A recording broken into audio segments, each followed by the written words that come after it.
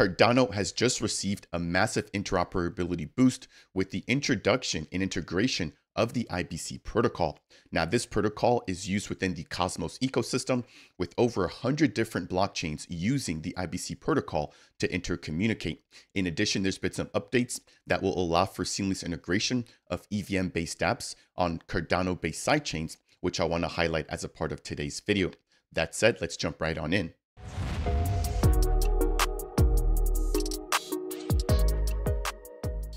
What's up, Beta Nation? Uh, welcome to Dapp Central, your home for everything blockchain and crypto. My name's Fareed. As a part of today's video, we've got a huge update, a big piece of breaking news when it comes to interoperability and the Cardano ecosystem. Now, this is dealing with the IBC protocol, which stands for the Inter Blockchain Communication Protocol, which is actually created and used by the Cosmos ecosystem. Now, Cosmos basically connects over a hundred different blockchains together, and we're now integrating the IBC protocol directly within Cardano. What this means is that this opens up communication between Cardano and any other blockchain using the IBC protocol. Without any further ado, let's jump into today's content. This is the initial post that was just released earlier today by the official Cardano Foundation. It reads, News Cardano integrates inter blockchain communication or IBC protocol to enhance connectivity from Cosmos and Ethereum directly to Cardano. Now they've got a fully dedicated article, which I want to jump into as a part of today's video. As always, if you guys enjoy content like this, please make sure to smash that thumbs up on your way in. If you want more content like this, highlighting everything in Cardano, consider subscribing to the channel Dapp Central. And last but not least, if you have any questions for me surrounding IBC, Cardano, or ETH, then make sure to leave a comment down below. Now, taking a look here at the article, it, it reads, Cardano integrates IBC to enhance connectivity and to join the interchain ecosystem. Now, this is just the very beginning. I want to kick things off here with a review of the article. Following the article, I do want to briefly take a look at the actual architecture for IBC, and then I want to explain exactly what all these different portions means. So that includes the application, the channels, the connections, and the light client. So make sure to stay tuned throughout the entire video. Jumping into the article, it kicks off by stating, as businesses increasingly explore blockchain technology, challenges related to scalability, data privacy, and interoperability can arise. The Cardano Foundation has therefore been working on a building block that introduces inter blockchain communication protocol or IBC capabilities to the Cardano blockchain, specifically designed to enable reliable transactions and data exchanges across distinct blockchain and networks. Now let's take a look at how the actual IBC network right now currently looks. As you can see here, I mean, again, a huge number of blockchains that are currently building. Some of the bigger, more notable ones include the Cosmos Hub. We've got Celestia, Axelar. We've also got Injective and Fetch AI, which is dealing with AI technology. And if we just take a look here at the volume, again, you can see $456 million worth of volume being um, or going through uh, Osmosis, excuse me, in the last 30 days. 247 million going through Celestia. And then taking a look here at the total transactions over the last 30 days, we've got over 75 million transactions on Injective, followed by nearly 15 million across Carbon. So these are getting a lot of use and a lot of benefit, right? Again, in the sense that they're all able to interconnect or intercommunicate. Jumping back into the article, it states the IBC framework works not only to enhance existing systems, but also to expand what they can achieve. It facilitates the transfer of data and assets between different blockchains while still ensuring enterprises benefit from the security and deterministic fees inherent to Cardano's blockchain. So basically allowing for Cardano to have many more friends now and opportunities going forward. There was a recent article that was released by uh, Electric Capital not too long ago, which basically showed that Cardano was building on an island of its own with little to no interoperability, but a introduction of IBC now instantly allows for Cardano to talk with over 110 plus blockchains moving forward. So a huge step towards interoperability. And there's also here a benefit towards ETH that we'll jump into in just a moment. Jumping back into the article, it reads IBC is a widely adopted communication protocol for facilitating the exchange of information between different blockchains. By bridging IBC capabilities to Cardano, projects seeking to establish a bridge between the Cardano network or ecosystem and the Cosmos SDK based sidechains might use this solution. Furthermore, and in closing, it reads By implementing the IBC protocol for Cardano, projects in our ecosystem can now easily bridge to Cosmos SDK chains and the broader interchain ecosystem, which composes or which is made up of over 115 interconnected blockchains. Now, jumping over to the official IBC website, which is available at ibcprotocol.dev, they aim to power the interchain. Some of the key things that they basically pride themselves on include universal interoperability, where chains that speak IBC can share any type of data as long as it's encoded in bytes, enabling the industry's most feature rich cross chain interactions. It also boasts permissionless access, which means that IBC is completely open source, meaning that anybody can build with IBC and there's no in protocol rent extraction or hidden fees ever. This is completely free, built for and by the community.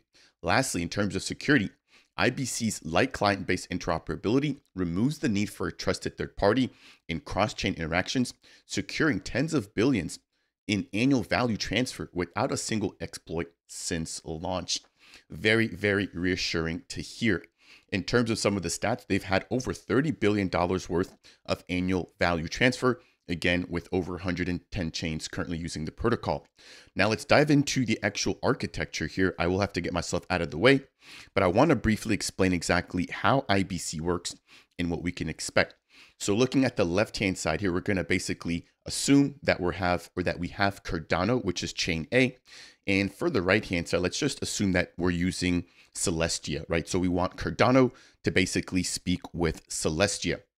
In order for that to happen, we have to have an application on Cardano, and there has to be a channel involved as well as a connection to the um, second blockchain, which in this case again is Celestia. And then there's going to be a light client involved.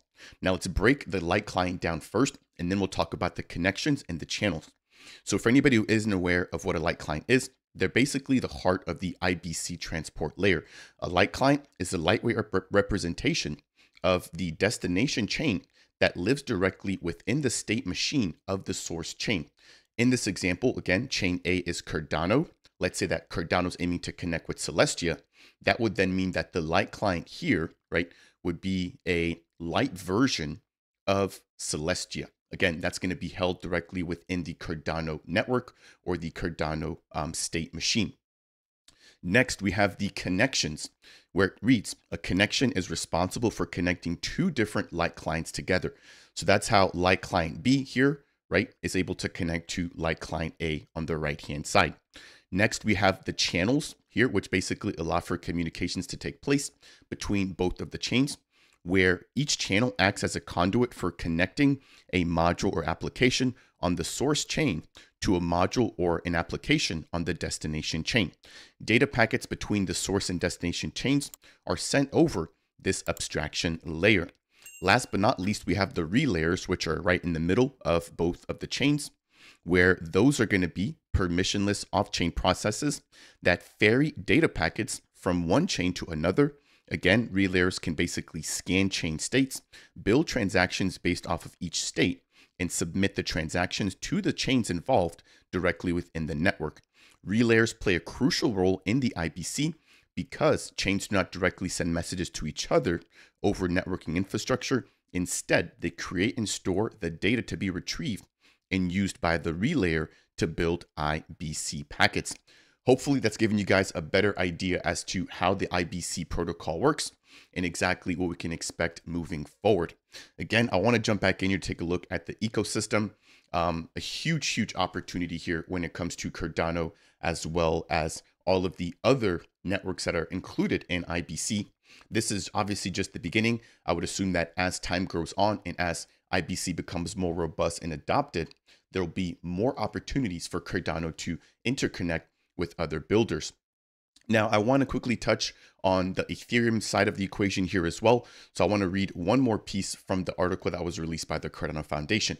It states, in addition to joining the IBC ecosystem, the implementation of IBC for Cardano adds another option for connecting EVM or Ethereum virtual machine based sidechains directly to Cardano. This will allow for developers to seamlessly deploy EVM based decentralized apps or dApps on Cardano sidechains, combining the familiarity and developer tools of the Ethereum ecosystem with the security and scalability of Cardano. If you guys missed the release of the EVM um, based SDK that was, I believe, developed and released by IOG. This basically aimed to provide a framework and a set of um, dedicated tools for anybody who's coming from EVM to build directly on a sidechain connected to Cardano. So it seems like um, this basically will be playing hand in hand with that. Now, backing up here within Cardano, we've got impressive security being one of the best chains in terms of uptime next to Bitcoin. We already have decentralization with nearly 3,000 node operators or stake pool operators backing up the network here. And we're now on the cusp of governance with the release of the Chang, the Chang hard fork in the introduction of CIP number 1694. Now, following those three things, the next thing on our plate is interoperability. And we're seeing IOG, as well as the Cardano Foundation, really beginning to work on that aspect of things as well. So let me know what you guys think down below. This is a huge update, a pretty big milestone here for the Cardano ecosystem. The introduction of Cardano into the IBC ecosystem, which now boasts over 110 blockchains, which now use that particular protocol. As always, if you guys learned anything along today's video, um, I would appreciate you if you could smash that thumbs up. If it's your first time stopping by Dapp Central and you want more content like this, consider subscribing. And last but not least, if you have any questions for me as it pertains to IBC, Cosmos, Ethereum, or Cardano, then leave a comment down below. That said, and as always, I'll see you guys in the next video.